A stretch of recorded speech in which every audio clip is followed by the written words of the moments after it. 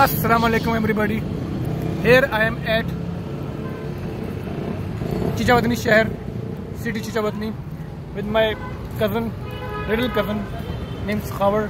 And what we are doing, eating this beautiful, beautiful, tasty, delicious gol gappe. When you come to to Pakistan, whenever you come to Pakistan, you have to eat this gol gappe. Gol gappe is life, basically. And this is a thing which the Desi people can't live without.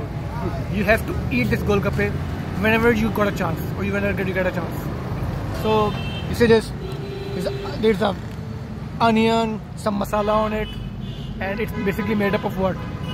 Flour and you put yogurt and this uh, water what we call uh, khatta, bitter, salty, sweet and sour, sweet and sour water.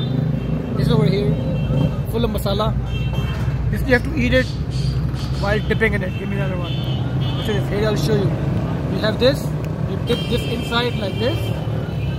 It's full of water now.